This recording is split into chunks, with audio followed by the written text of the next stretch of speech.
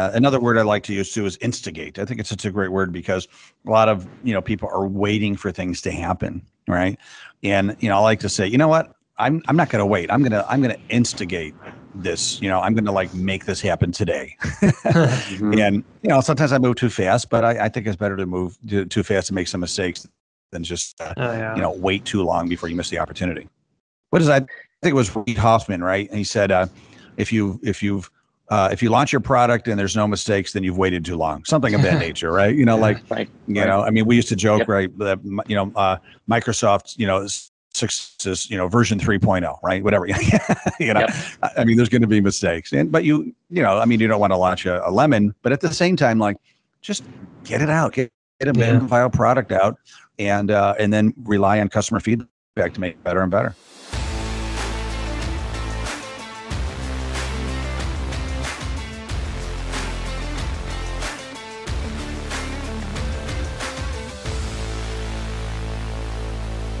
Welcome back to another episode of Over a Pint, the podcast that deals with the fast paced world of marketing as told through the eyes of industry veterans.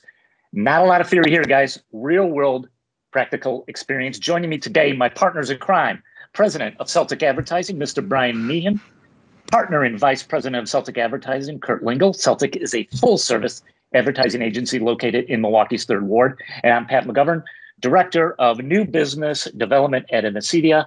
We are an award winning digital agency, also located here in Milwaukee. Psyched about the show today, guys. We have on Definitely. David Mammano. David is the force behind the highly rated and super engaging podcast, The Gonzo Experience.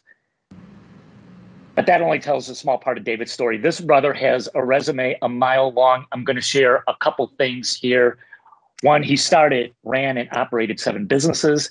He's author of several books, including Crash and Learn Lessons in Business.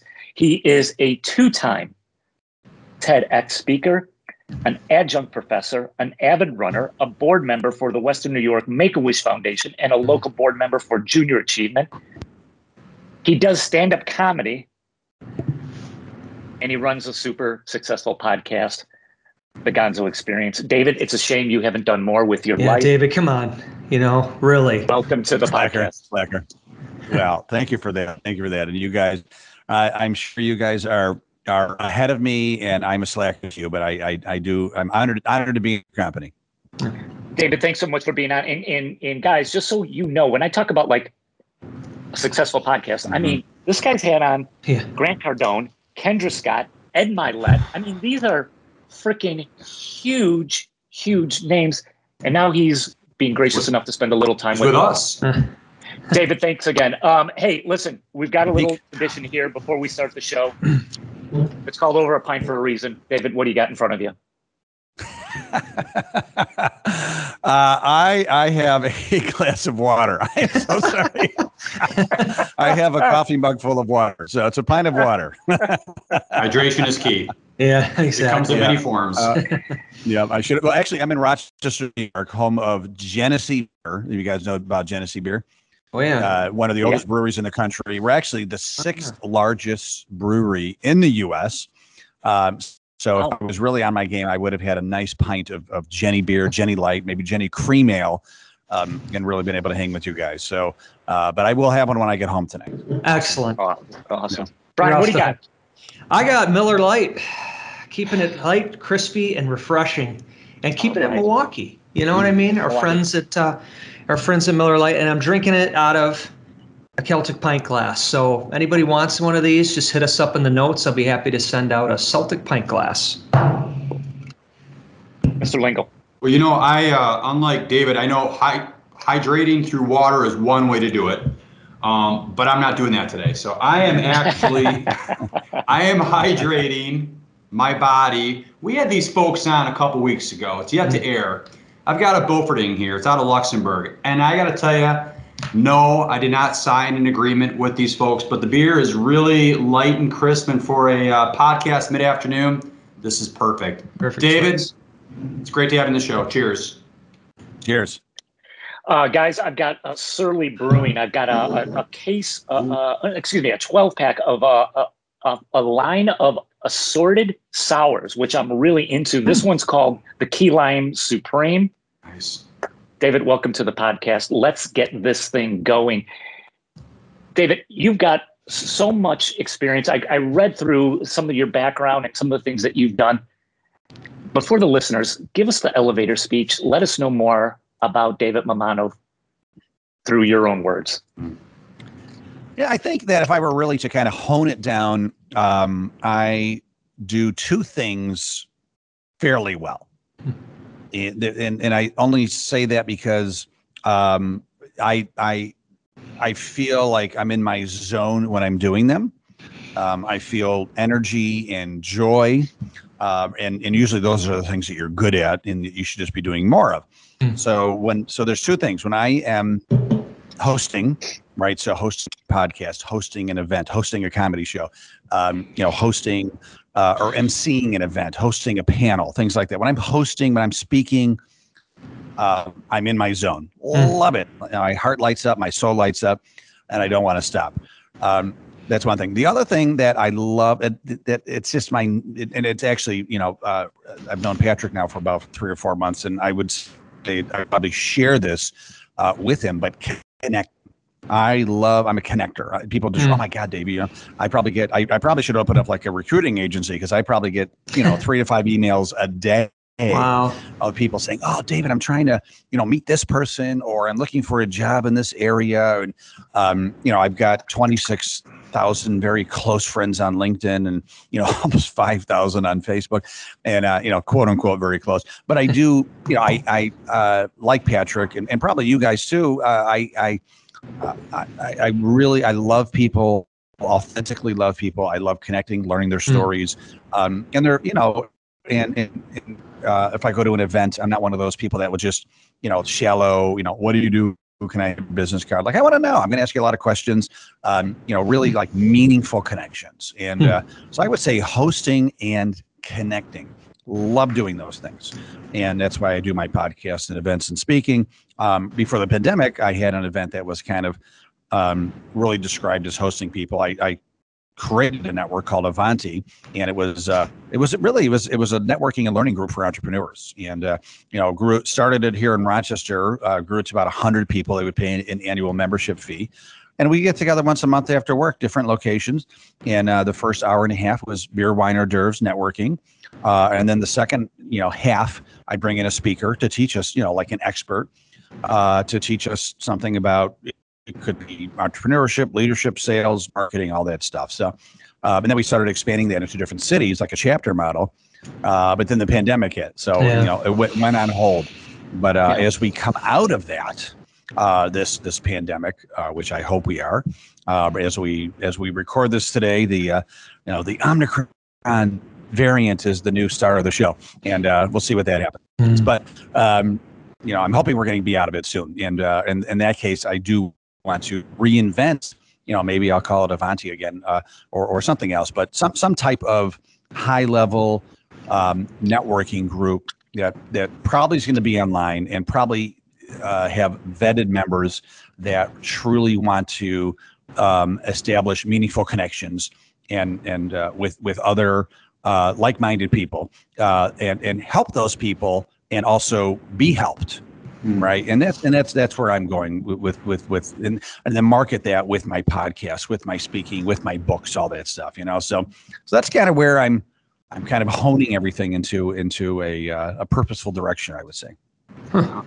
you know quick if i could because i'll forget to ask this question so i'm going to ask it now but you know from a david from a networking and a like you said just a connector i mean in your experience I mean, some people are just really good at it. Some people are really comfortable at it.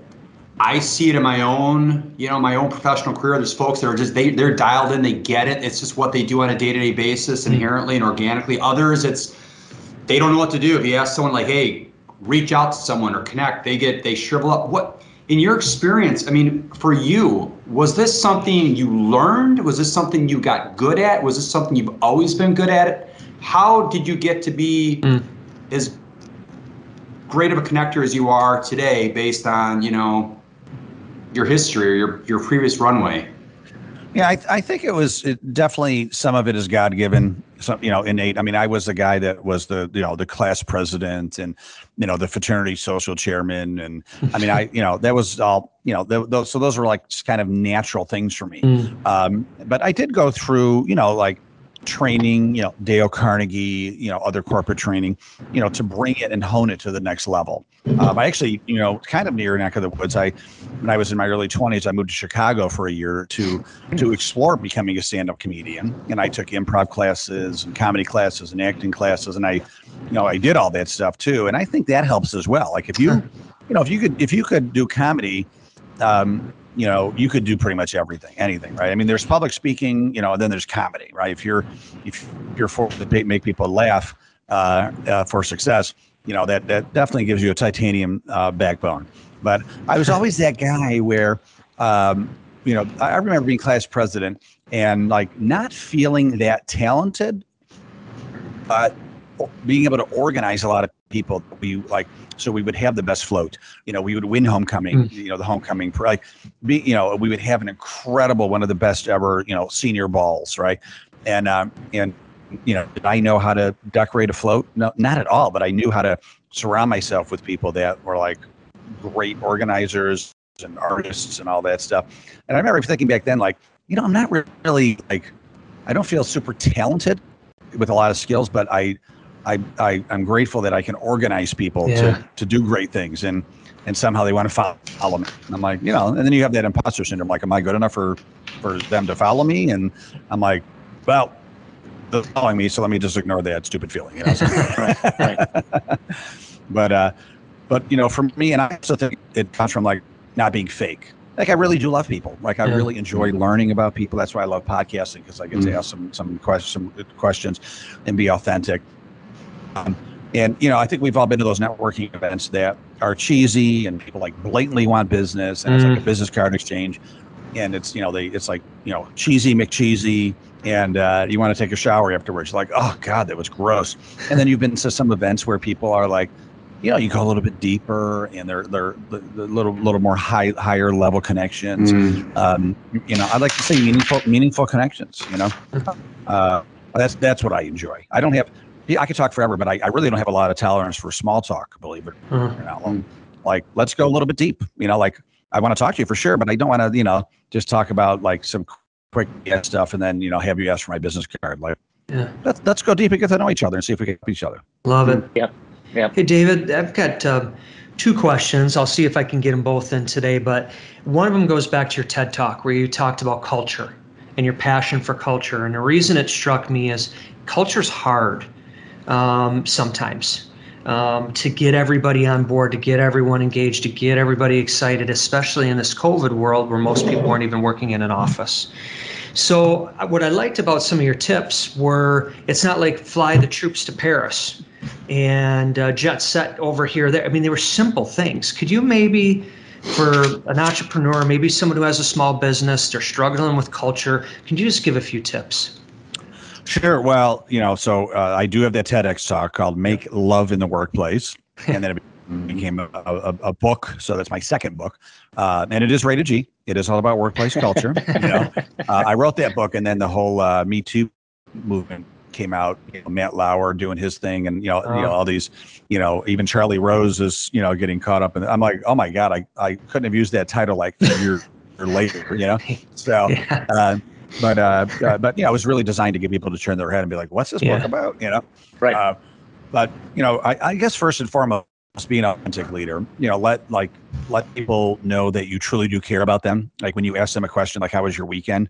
Um, you know, just you know, like just don't make it like these questions like you know you're just going through the motion.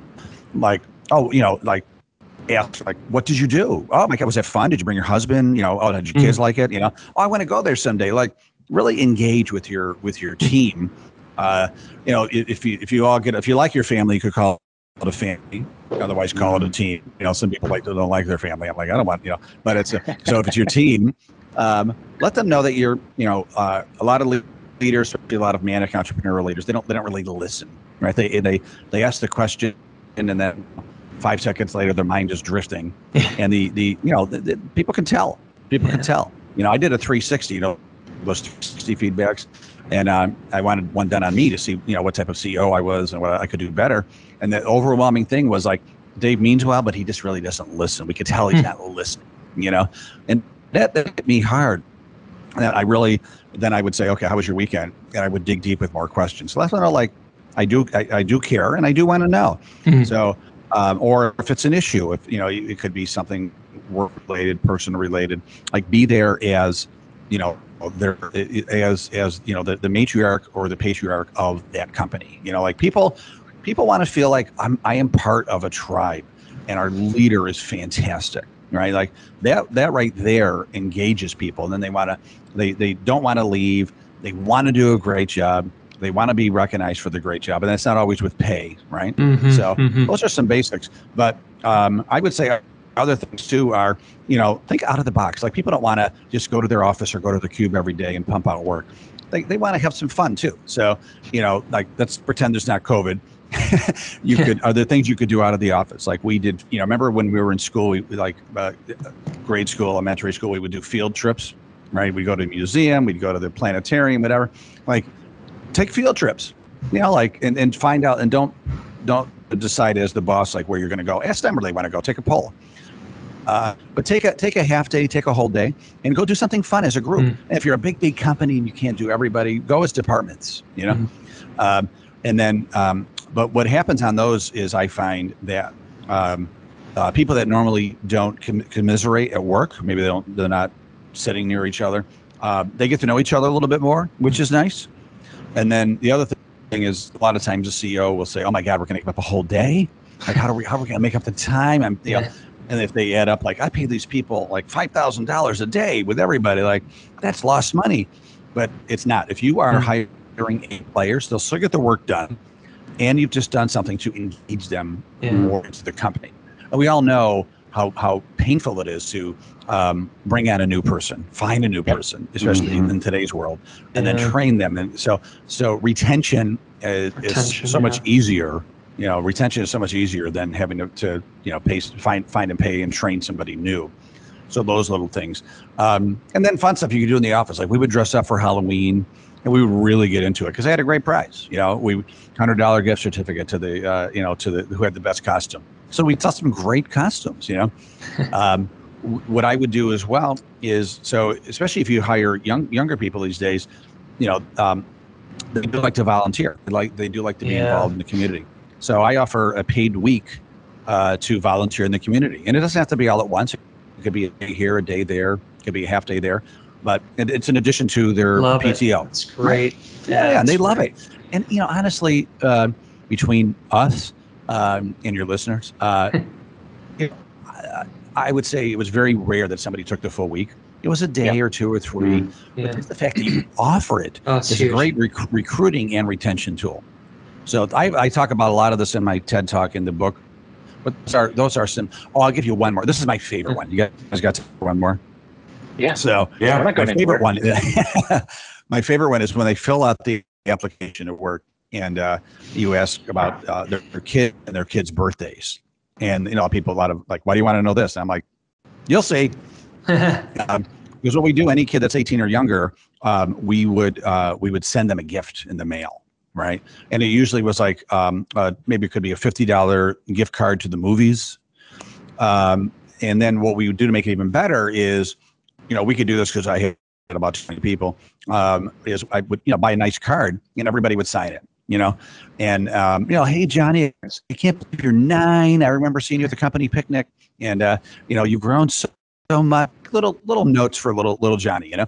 So so Johnny, who never gets any like snail mail, so little Johnny now he, he gets he gets a letter in the mail from all mommy's employees with cute little notes. He gets a fifty dollar gift certificate to the movies, and uh, so so so that makes him feel great right? And then guess what he goes tell mommy, mommy, I love where you work. Yeah, they're so you know? great. Yeah. Mr. David is like the best boss ever, you know? And so selfishly, again, I am I am like cementing a team member to the family, yeah. right? You know, yeah. and uh, uh, because they're going to be like, well, where am I going? Who, who else is going to, you know, do this for do my, this. my, you know, I mean, for especially, I mean, I'm saying a mother, a father too. Like, what's more important than their kids, right? Yeah. You know, so you're you're hitting them right in the heart with something that you're not doing it for the selfish reason, but it's it's it's kind of like a nice icing on the cake. Uh, Yeah. uh, but that that's one of the favorite things that we would that we. You know what I love about it is simplicity. Because I've talked to people that are like, well, we're going to try and hit grand slams and have these major events and big to dos and tons of planning. And then I'm listening to your TED talk, and it's just like, you know, go say hi to somebody and listen. Ask, ask Yeah. about the day. You know, maybe go on a field trip. Those are low cost, high return uh, types of investments you're making in your team. Oh yeah, you guys remember? I mean, we're we're, we're probably roughly around the same age. Remember um, in the I think it was the late '80s, Life's Little Instruction booklet, maybe late '80s, early '90s. It was a little coffee table book. It was like a hundred things that um, would would like little tips that would help you to have a great life. And number one was, was um, a person's greatest need is to feel appreciated. That was number Yeah. one, and that costs a thing. Like Brian, like you just said, like what does it cost to go up to somebody and say, you know what? Um, the, uh, that project you did yesterday that you presented in the meeting. Um, I don't want to tell you in front of everybody to embarrass you, but I, I just want to let you know personally, like that was damn good work. Congratulations! I can tell you really put your heart and soul in that. Didn't cost a penny. It took about ten minutes of your time, but Yeah. guess what? You just made that person's day, right? But beyond like you can ever believe, you know, like you, you guys have gotten these comments where maybe somebody just said it to be nice quickly, but you're like, wow, that meant the world to me, you know. Wow, yeah. So little, like you just said, Good little stuff. little things that don't cost Yeah. anything, right? So Yeah, you know what the other thing too is uh, I always try to find parallels with people. Like, you know, we're talking with you about your business, your your cult. We're talking culture. We're talking your podcast, and you know, I know a word that I've heard you use quite often is immerse. You know, where it's you know you'd like to immerse, and it gets back, David. Earlier on, you you were saying I really genuinely like or love or care about people, um, and that ties into that word immerse whether it's you know you having a conversation with you know a guest in your podcast and you really really there's there's a lot going on here than just telling or talking about a story. You're immersing yourself or it's with an employee but you know i see that in you and i'm hearing that from you in different examples that word immerse and like i said i've heard you use that and that really you know immerse care authenticity it all kind of lives in that same world. And to me, that's something I'm really picking up on. yeah, yeah, it, it's it's a lot of a lot of purposeful immersion, right? And uh, another word I like to use too is instigate. I think it's such a great word because a lot of you know people are waiting for things to happen, right? And you know, I like to say, you know what? I'm I'm not going to wait. I'm gonna I'm gonna instigate this. You know, I'm gonna like make this happen today. And you know, sometimes I move too fast, but I, I think it's better to move too, too fast and make some mistakes than just uh, Oh, yeah. you know wait too long before you miss the opportunity. What is that? I think it was Reid Hoffman, right? And he said, uh, if you if you've uh, if you launch your product and there's no mistakes, then you've waited too long. Something of that nature, right? You know, Yeah. like Right. you Right. know, I mean, we used to joke, Yep. right? That you know, uh, Microsoft, you know, success, you know, version 3.0, right? Whatever, you know. Yep. I- mean, there's going to be mistakes, and but you, you know, I mean, you don't want to launch a, a lemon, but at the same time, like, just get it out, get, get a Yeah. minimum viable product out, and uh, and then rely on customer feedback to make it better and better. So, David, let's hang on that for a little bit because one of the things I want to I want to get your take on is you you started, operated, ran seven businesses. That's crazy. I mean, that's it's crazy. Uh, What give us like what are some of the learnings that you you took away from that? Like, you know, are there some com- commonalities that ran across each one of those businesses and some do's and don'ts and just like I'd love to just hear your take on that. Uh, yeah, well, one thing one thing I learned is that I am manic. So uh, there's actually a term that uh, is um, there's a book that came out a few years ago called um, uh, hypomania, and a lot of uh, like Christopher Columbus was hypomanic. Alexander Hamilton was hypomanic. Um, you know, Andrew Carnegie was hypomanic, right? So they're they're they're not manic to the point like they're out of control, um, and they're not they're not depressed. And if normal is in the middle, they're somewhere between normal and manic, right? They're always Mhm. kind of like in this in this controlled, semi-controlled state of mania, right? You know, ideas and energy, and um, so what I what I learned is that you know early on is that I need to control that. Like I have it, I don't want to be medicated, but I need to control it. And the way I do that is, well, like you said, Pat, I exercise, I run, um, you know, I eat, I eat well, I sleep well, all that good stuff. So health wise, but also too, people like you need to surround yourself with the people that uh, uh, the the yings to your yang, as they, as they say, right? You know, behind every great Walt Disney, there's a Roy, yeah, and and uh, and and so you know, a lot of great leaders uh, have a you know a no man or a no woman behind them to question. And uh, because a lot of people like me we don't. We just want to keep on going forward and see what happens. Um, but it's nice to surround yourself with people to say all right like the idea.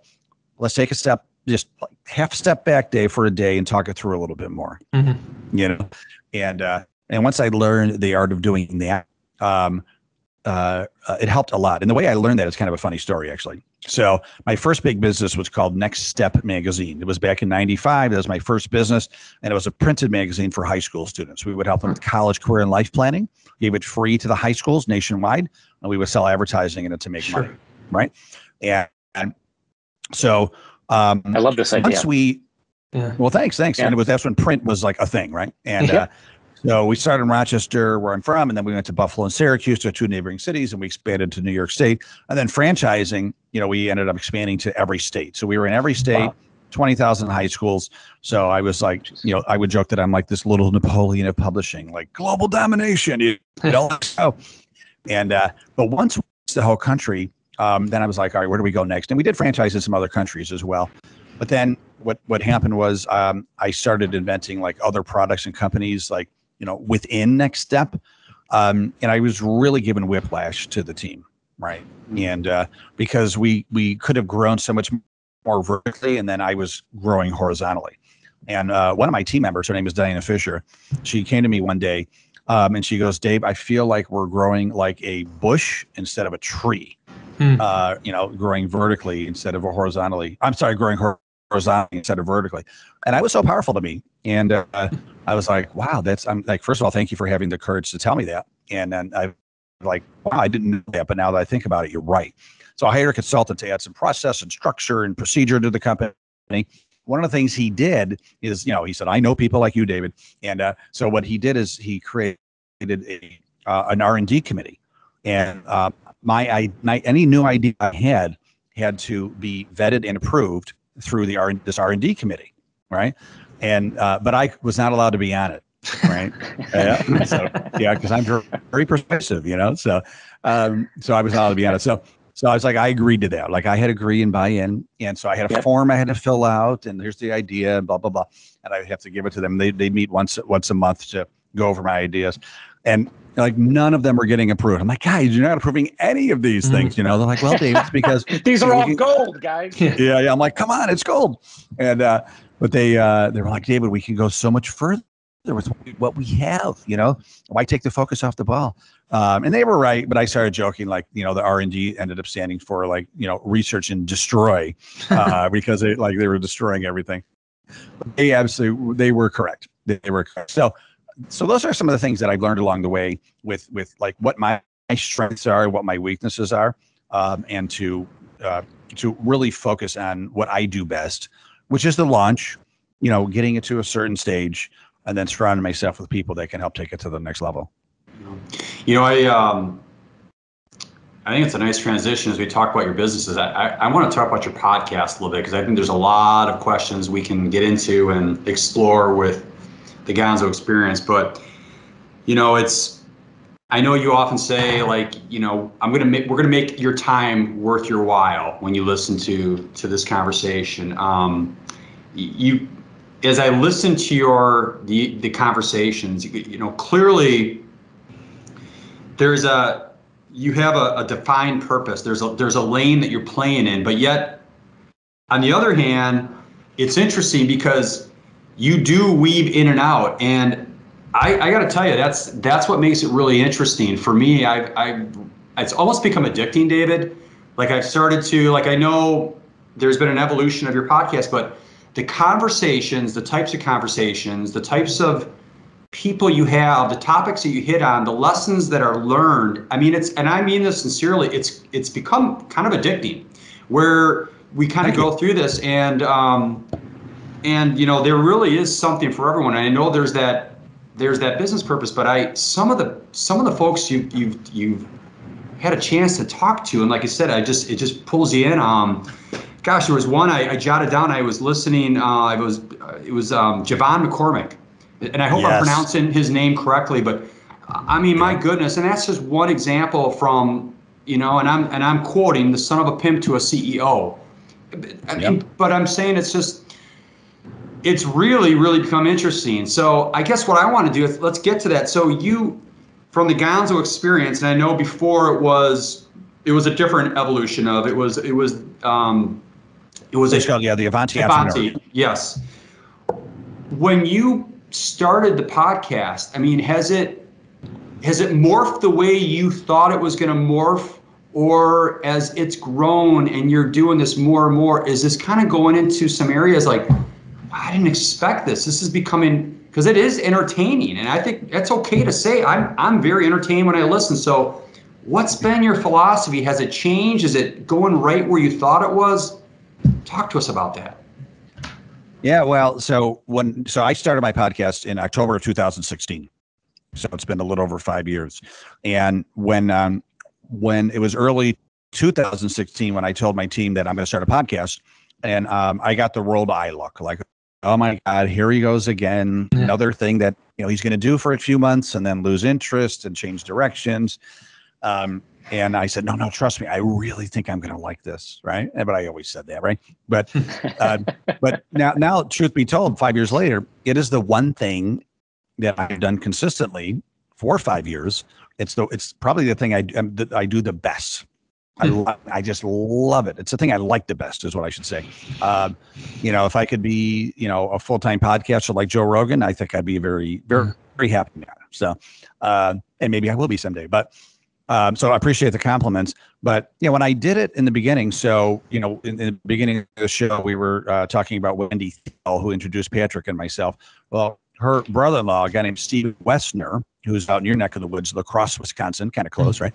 Yeah. He's a, he's a good friend of mine. I met him at a Darren Hardy event years ago, and he started a company to help people start podcasts. So I'm like, oh, Stephen, I want to do this. So great training program, trained me for about three months, and then I launched. And um, and you know, Stephen's program is, you know, yeah, yeah, you know, you you could become famous podcaster but but really at the end of the day a good podcast establishes credibility like writing a book um, and you know what? It builds your network it builds yeah. your credibility and it gets you in the doors where you may not ever get in. Like if i ever called grant cardone and just said hi grant. Um, i'm a business owner in upstate new york and I'd love to talk to you you, you think i would make it past you know the gatekeeper of the gatekeeper? No right? But um, i you know i ended up getting it into Grant Cardone's, you know, door and, and talked to him for an hour on the podcast uh, because I had a podcast. Yes. Right. And by the time I called him, I had built up some momentum and some credibility. So he was able to say, wow, mm-hmm. this guy looks pretty legit. Uh, Ed Mylett, except, you know, one of my favorite interviews, Ellen Latham, founder of Orange Theory Fitness, you know, mm-hmm. she ever taken a call? I don't think so. She's pretty busy. Right. So, so, um, so I, I think what has happened that maybe I didn't expect was um, I'm building a really great network of, I would say, some pretty impressive thought leaders. And um, and just For by sure. you know having the, the, the courage to take a deep breath and say like, hey, listen, let me try. You know, I I don't know Grant Cardone now. Um, if he says no to me, I still won't know him. you know, I'll be in the same place. It's just like asking out a girl, right? You know, like, hey, listen, I, I don't have her as a girlfriend now. Um, so if I ask her and she says no, I, I, I still don't have her as a girlfriend. So, you know, that was my philosophy in college and I got a lot of no's, but you know, every now and then I got a yes, right? So, um, but uh, so I built a really um, beautiful network of friends because of the podcast. So I can call you talked about Jevon McCormick. Like we've become really good friends. I love the guy. Um, I brought him into Rochester to speak. Um, I randomly ran him in, in, to the airport in, in Atlanta, like what the biggest airport in the world, I think. Like, and we were like hugging, like, oh my God, you know. Mm-hmm. And I just randomly called him because, you know, he was on Stephen Woessner's podcast. And I was like, oh, I'd love to have this guy on my podcast. Called him, he said yes. So meeting friends like you, meeting people like you, right? Mm-hmm. Um, you know, uh, meeting, you know, Patrick introduced me to uh, uh, to Jamie Andrzejewski. Is it, yeah, I call her Jamie A. But yeah, yeah. Just call her Uh, Jamie A. Jamie A. Like she, you know, like she's wonderful. Like you know, great soul. We're friends now. So building, it's I, I would think an authentic, really great network slash friendship with a lot of my guests has, has been uh, truly um, just heartwarming to me, and, and and the best part of having my podcast. David, let, let me just hang on that for a minute because that's that's a huge thing, right? It's the networking, it's the connecting, right? You seen, you and I have an authentic relationship. I mean, it's it's legit. But when you're reaching out to people, Mm. what do you do? Like, I mean, are you just cold calling them? Are you cold emailing them? What's the kind of? I want to break it down a little bit. What are some of the tactics that you're taking that it's not cheesy, right? I mean, you're not going to get an answer 100%, the right answer 100% of the time, but what are the steps that you take? I'd love to hear from from you on this. Yeah, yeah. Um, well, well, sometimes I'll know somebody that knows somebody, and I'll ask for a connection, or uh, I'll get an intro to the uh, you know the assistant, things like that. Right. Uh, Right no- you know, Grant Cardone. I had a uh, I had a, a friend that says, "Oh, I I know Grant Cardone's assistant. You know, if you want to email her and see if she'll if he'll be on the." I was like, so I took a shot, right, and it worked. Um, but a lot of times, like I'll read a book or I'll I'll I'll, I'll hear somebody on a podcast. I'm like, oh, I would love to have that person on my podcast in my in my world. So you know, uh, the great Zig Ziglar, you know, his quote, "Show me that you know me," and uh, and and so I will, you know, I will read their book, I will listen to the podcast, I will go to their website, and and then so by the time I contact them, they're like, "Oh my God, you know a lot about me," yeah, you know, and uh, like you know, uh, uh, I had uh, Paul Orfalea, the founder of Kinkos. Um, I uh, I didn't have him on my podcast because I met him before I started my podcast. But when I had my magazine, um, I inter- I interviewed him, and uh, and I and I cold called him. I said, oh, I have this magazine for high school students, and I have a column called "Interview with an Entrepreneur." Would love to have you on it. And he goes, I'll do it, but under one condition. And I said, whatever. What, what do you need? He goes, well, I'm retired, you know, from Kinko's. They had bought him out by then, FedEx, and uh, I'm teaching a class at uh, you know UC Santa Barbara, and I want you to come in and guest speak to my class. Like, Wow. Well, Wow. that is a no-brainer. Yeah. He flew Yeah. me out. I stayed at his house. Right. I mean, it was great. Paul Awesome. Orfalea, right? Worth you know four billion dollars, and um, you know, crazy entrepreneur, wonderful guy. Uh, but that's that's an example of me just you know. Oh, oh, I tell you that because you know he had uh, written a couple of books, and one was a biography, and or an autobiography, and um, so I read it. You know, and so I when I did get to meet him, he was like, "Wow, you know, you know a lot about me," um, and he was saying you know, like a little nervous, like I had stalked him. And uh, I was like, Paul, I just read your book. And he's like, oh, yeah, yeah, that makes sense. Yeah. so I, to answer the question is, you know, to take the cheese factor out, is show them that you know them. You know, you know, I, I posted the other day about how LinkedIn, in my mind, is getting cheesy because you know, I get five to 10 requests a day, you know, from, uh, you know, uh, some guy in Pakistan that, you know, wants to do my website. I'm Yeah. like, well, I already have a website. Um, and if I need a new one, I'm not going to do it with you, you know. And uh, so they don't know me. They're they're not showing me that they, you know, like if they would have said, "Oh my God, David, I watched your TEDx talk, I read your book," uh, based on on getting to know you through the these you know you know these vehicles, um, I, I think I could help you with this idea that I have. Would you open to a 15 minute conversation? Now, I'd probably say like yeah, I'll give them 15 minutes. You know, they they they, they spend some time getting to know me. Um, so out of respect, I will do that. So so show show show them that you know them. I think that's that's the, the simple answer to the question. Yeah. You know, when it comes to a blog, uh, we have our own, obviously, our podcast. Um, you know, it's about getting quality people. We know it's about being consistent. But one of the things that surprised me, and you said it was, you almost become friends with these people at the end. It's not transactional where it's, hey, we just did a podcast, have a nice life. I look at the people that Yeah. we've talked to this year, and we, Pat, we've talked about this, Kurt. We could pick up the phone and call any one of those people, and they pick up and be like, "Hey, how you doing, guys?" Um, so Yeah. it's such a great way to get introduced to people, but also get to know them, and that builds right into what you're Yeah. saying about authenticity and being real and really caring about people. That's what I think's been the greatest joy is you know getting to know folks. In addition to delivering good content and, and all the other good stuff, but uh, that's a byproduct that a lot of people don't take into consideration. Yeah. Yeah, yeah, it's all about it's all about creating value and then and then using that value to, to, to help people. Yeah, yeah. You know, on top on top of that, on top of that too, it's those are all great points because I I always I enjoy hearing why you're doing it. And Brian, those are great points. And and to put a period on the on the points David had made why he's doing it. The other one too is just the enjoyment. You know, and, that, that's yeah. okay, right? You know, it's yeah. like you hit it on the head. It's like connections, networking. You want to meet people, the authenticity. But you know what? At the end of the day, make no apologies. You enjoy it. You're having fun, yeah. and you know what? That's infectious. And I and I feel that way about our pot. I enjoy it, and that's a good thing. So I, I I can sense that in your voice, and you said it. So that's a good thing too. Yeah, and you're creating value. You're doing something you enjoy. Absolutely. You're creating value, and whenever you're you're doing something you enjoy, it gives you energy. So you just want to do more of it. Hmm. You know, so you know, yeah. when I when I'm going, you know, when I'm looking at a spreadsheet, I'm not enjoying it. You know, my energy dies. Like, you know, like I have a great, I have the greatest bookkeeper ever. Hello, Jen Colley. Like, and you know, and and so you know, once against surrounding yourself with a team. Like, I know what I'm good at. I know what I suck at. Let me surround myself with a team, and then um, and then you know this is a this is you know this is another uh, tip I put in one of my books or something I or one of my videos I said one day. But you know the, the whole thing like delegate but don't abdicate. Uh, yeah. by that is like so Jen like I delegate the bookkeeping to Jen, right? But I don't abdicate it. Like I don't I don't I'm not like la la la. I don't know what I don't want to know what's going on. Like I, you know I want to be able to um, inspect what I expect. And then and so like a, a you know some type of rhythm where I'm getting my finger on the pulse enough to you know like okay you know we're going to be around for another couple months right? yeah so and then to go back to what I do best. So um, so I think that that's you know to stick to your strengths but also delegate don't abdicate and then inspect what you expect. David um, this is called over a pint marketing and I want to get your thoughts on marketing because you just seem like a textbook of things a business, an entrepreneur, you name it, should do. I mean, you've done TED Talks, you've got a podcast, a successful podcast.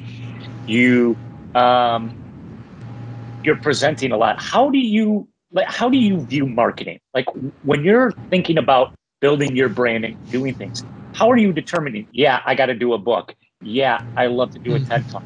How do you what's the process, right? What are you going through? Yeah, yeah. So, well, you guys will like this answer. I think every company is a marketing company, and oh, they have a product. You know, yeah. like yeah. I mean, you know, the, the famous you know metaphor, like you know, the, the hot dog stand went out of business because the guy was making the sign right instead of cooking a hot dog, right? You know, like it's you could be ready, set, ready, set, ready, set. Like you gotta go, uh, and and and the go is marketing. Like you know, you could have the best store ever, but if people don't know about it, then they're not going to come. And um, so uh, so I'm a big marketer. I think I'm a, I'm a, I'm a you know marketer at heart. Uh, but once again, it goes back to meaningful marketing, authentic marketing, you know, true marketing. You don't want to overpromise uh, and underdeliver. You want to underpromise and overdeliver, right? I mean, right. that wow experience. Um, but for me, you know, so the end in mind for me is always is is is the product at the beginning is the marketing. Like how you know once this product is done, um, you know, how how can we successfully market it? Like with the book. Now, unfortunately, we had a great marketing plan for my latest book, Crash and Learn. Uh, which is a, a, great present for entrepreneurs, by the way. Wink, wink. But uh, yeah, it's it's ten stories of entrepreneurs that, that were on top of the world. You know, cr- their business crashed, but instead of burning, they learned and rose like the phoenix again. So we, we, we got myself and nine other authors wrote a great book, and then you know, the launch date uh, was oh early March 2020. So Perfect. just in time for COVID. But you know, it, it actually helped a little bit because people were reading more because they had more time. But the mm-hmm. marketing that we were planning on what didn't really wasn't really going to work that well because what we were going to do we had 10 authors around the country and you know we were going to you know do you know go to the local bookstores and do book signings. Uh, you know i was going to have a huge event where uh, jeffrey gitomer was going to uh, be my headliner my keynote. Wow. And we were going to sell we got four or five hundred people there. We're going to sell books there etc yep. so all that you know people based event based marketing went away. Um, so we, you know, we used, you know, 10 people use their network, social media, email newsletter, all that great stuff to sell books. So, um, but, you know, I've, I've seen a lot of companies go under because they don't have a marketing strategy and, or they don't have a sales strategy. Yeah. Yeah. You know, that's a nice transition. I actually was going to ask you the crash and learn. I like that. It was, you know, that. So you know, in your career, and it's been it's you've done a lot in your career. Maybe share with us, David, if you could, what's been one of your more memorable crash and learns in your history that you could you'd be willing to share with us? Yeah, well, there, there's there's a big one. Uh, so we talked about that. I had started a printed magazine for teenagers back in '95. Next Step magazine. Then we changed it to Next Step U, and um, and so we, we were printing like, you know, over 300,000 copies five times a year and distributed wow. them free in high schools. And our, you know, our, we were, we were a 5,000 company three years in a mm. row. Like we were cranking. Yeah. Um, you know, multi-million, you know, franchising, the whole works. Uh, but then, you know, that, uh, that damn, you guys love it, but that damn digital revolution, right? you know, kind of, kind of, you know, uh, quickly, yeah. and I'll say very quickly, you know, kicked uh, print pretty damn hard, and then when you include print and teens, which was our market, even harder. yeah. And uh, yeah. so we our revenue just went off a cliff. We had like it was in the course of like two years. It was like a nosedive, and because a lot of advertisers were like, "Dave, we love you. We love Next Step. We love your company, people." Well, we don't want print anymore. Just give us your digital stuff. Mm. And we did. I mean, we worked hard. We, you know, we did a, you know, digital edition and more stuff with our website and the whole works. But as you've seen with many many publishing companies it's never the same right? The revenue is never the same. You know we had 17 regional editions of the magazine around the country. You know we could sell page you know three you know 17 different times right? And uh-huh. uh, yep. you know and and so we really you know uh, just the model with print was was much more profitable than just having colleges. Colleges were our advertisers for the most part just having colleges on our site. Um, because then it transitioned into a cost per lead business. You know, when you're online, you could measure more, less less about branding, which you know traditionally magazine advertising is branding and exposure. You know, now it's you know like very accountable cost per lead advertising. You know, twenty bucks a lead, thirty bucks a lead. Yeah. So it's very transactional now. Um, I stopped doing it, so I sold it, um, and, and we moved on. But so uh, but uh, but the crash part was like revenue tanked. I kept the model too long because I thought we could save it. I kept the people too long because I loved them. They helped me build the company. So I went from being very profitable to you know um, keeping the company too long. Uh, you know, building up debt within the company and really. Um, uh, you know, by the time I had to let people go, it was it was it was painful. It was just mm. a painful experience all around people wise, revenue wise, uh, et. So I talk a lot about it in my book, Crash and Learn, but you know, that's, that's kind of the high level story is mm-hmm. going, going from like thinking I'm, you know, king of the world, poop doesn't stink, you know, Inc. 5000 company three years in a row and, you know, Rochester top 100 company and all that great stuff. Uh, the bell of the ball to like, oh my God, like waking up three in the morning, like I can't make payroll tomorrow. What the hell am I going to do? So mm-hmm. it's, it's, you know, very, a uh, lot, lot of humility within a, uh, a quick period of time. Mm. Wow. Um, David, we are out of time. You have been amazing. Mm. Um, this is yeah, you guys thank should. you thank so you. much. Thank you so much for being on the show. Thanks for being so honest about that yeah. that answer too. That's that that's super cool. Um, you've got the mic, sir. Um, pimp it out. Give us all you got. You know, how do people connect with you? Mm. What products do you want to push? I don't know if you've got a podcast or not. I'm kidding. Uh, promote everything you want. Uh, well, I mean, if you want to get the the recap of everything that I do, go to my website, which is going to be you know creatively named davidmammano.com. Uh, so you can check that out. But you know, find my podcast, my books, some things that we do on there as well. Uh, the podcast is called The Gonzo Experience, and my nickname in college was Gonzo, and people still call me Gonzo, so that's that's why that is. Mm-hmm. Um, but um, uh, as far as my book, it's on Amazon. Crash and Learn. I'm trying to think what else. You know, I love to I love to authentically connect with you. If you think I can help you, or you just want to chat, that's way to do that is through me an email, David at davidmammano.com, or uh, you know, or just have Patrick uh, do an intro because you know the uh, connection will mean that much more. So I'm here for you, and uh, be happy to talk and help you any way I can. It's awesome. Yeah. David, thank you so much. Uh, Merry Christmas. Thank you. Merry Christmas Merry to you guys, and uh, thank you. And, uh, and here's to a uh, rocking uh, 2022. Yeah. Thanks Let's for your insights, Thanks, David. David. Cheers. Cheers. Cheers.